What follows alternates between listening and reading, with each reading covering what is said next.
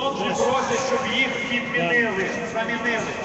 Я дуже прошу, чоловіки, хлопці, Якщо раніше, бачите, зараз тільки підійшов. е, люди вже починають е, рити землю і наповнювати, наповнювати мішки землею, тому що снігу вже ж немає. Але півдоби вже точно, вчорашнього вечора так мінімум.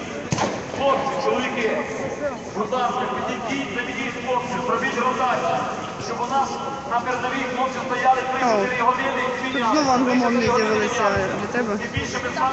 So people are uh, digging up dirt to put into bags to make barricades because there's no more snow to make the barricades out of.